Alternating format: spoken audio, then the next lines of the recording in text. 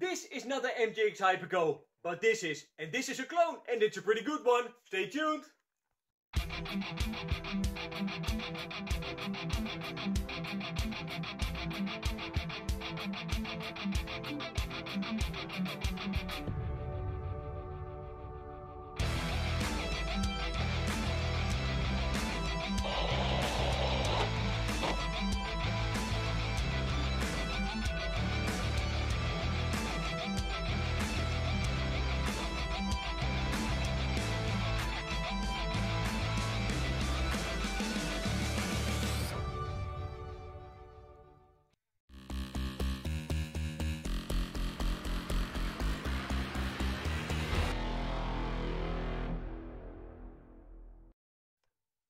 So guys, in today's video we've got a clone of this one. So this is the MJX Hypergo and these cars are just awesome. These are fast, durable and they're pretty affordable. But now I found a clone on the internet. But is this one as good as that one? Well, let's find out. So let me get everything out of the box so I can show you what's inside there.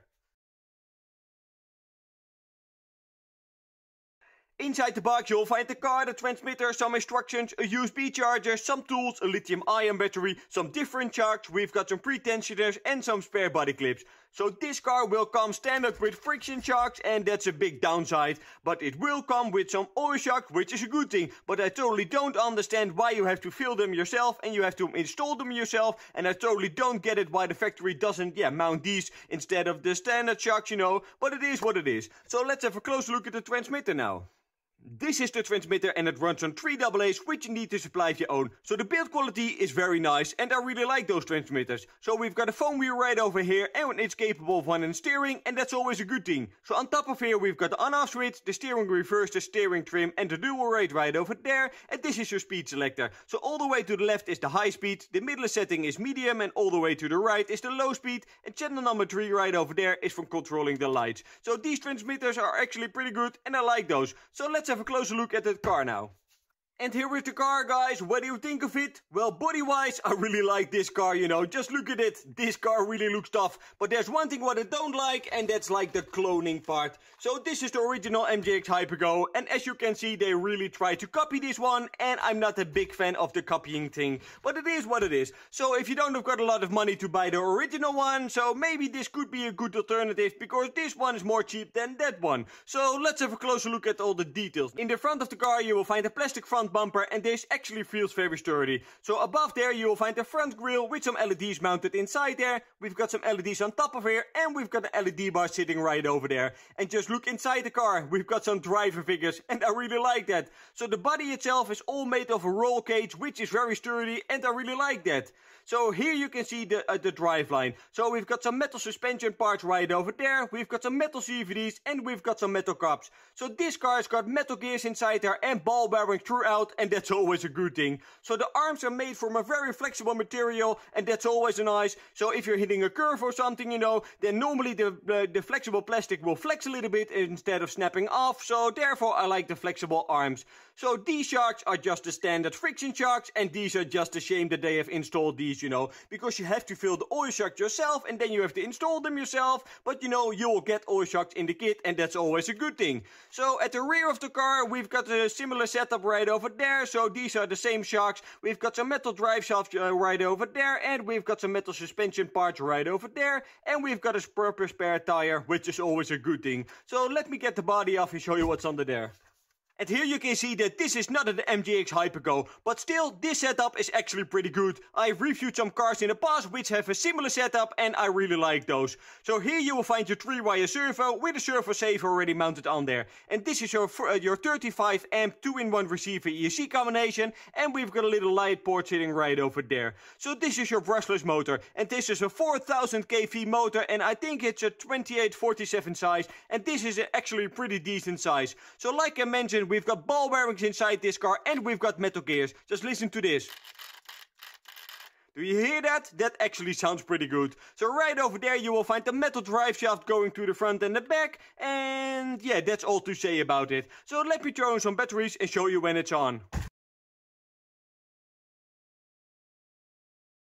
The car's powered on, and this is the steering servo. So we've got plenty of speed and we do have got some power as well. So normally with cheaper cars like this, you know, they don't have got any power at all. So this one is actually pretty good and I really like that. So this is throttle wise at the low and then I go to medium and then I go to high. So this is low speed, medium,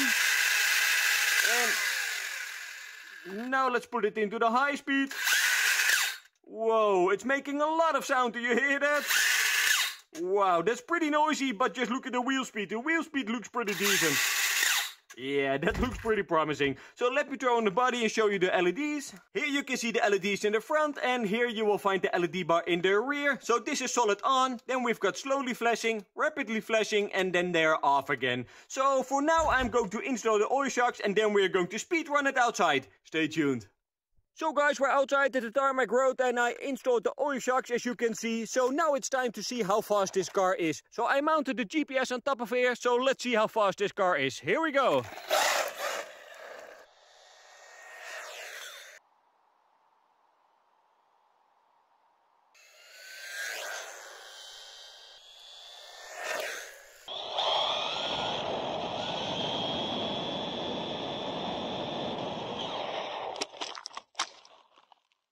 So guys, I gave it a couple of runs and we hit the 54 kilometers an hour. So that's a pretty decent speed for a car of around 100 bucks. So now it's time to take it off road and see what happens there.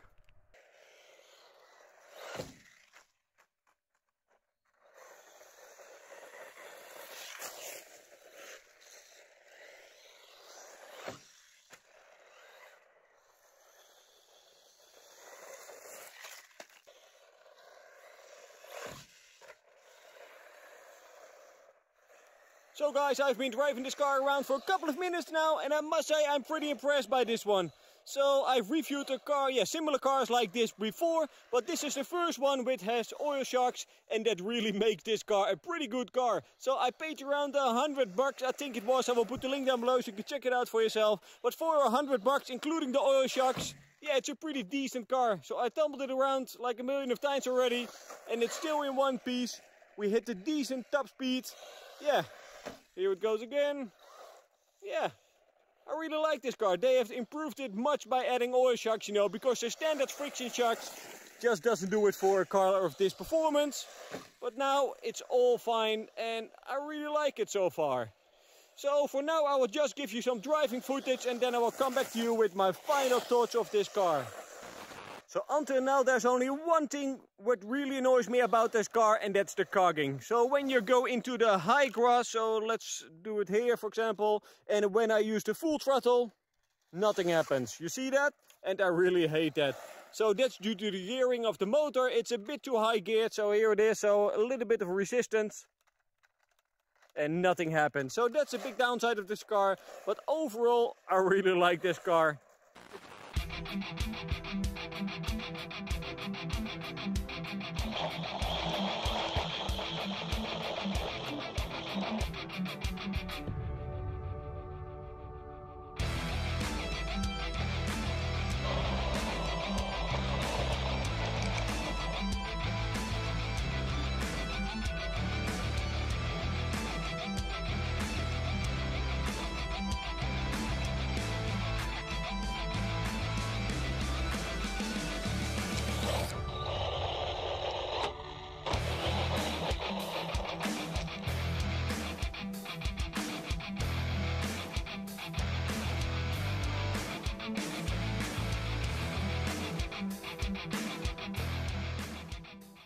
So guys, that was the driving with this car. And what do I think of it? Well, for the money, I think that this is a pretty good purchase. One thing what I really don't like is that they have tried to copy this one. So this is the MJX Hypergo. And as you can see, there are a lot of similarities. And the fact that they have tried to copy this one, I don't like that. But if you're looking for a more cheaper car than the MJX Hypergo, I think that this is a pretty good yeah, alternative if you want to have the same body style. And especially with this chassis and this platform. So on the market, you know, you've got a lot of cars that has uh, got exactly exactly the same electronics. Uh, one thing what is different from them is the suspension. So all of the other models will come with standard friction shocks and when driving over the field, you know, there's the, yeah, it bounces around and I hate that. But this model actually comes with oil shocks, which you need to fill yourself and you have to mount them yourself. But still, you will get oil shocks and that is way better than the other models. So therefore, I like this car. So one thing what I really don't like about this car is the cogging. So they have geared this one up to hit a top speed, you know, so we hit the 54 kilometers an hour, which is a pretty decent speed.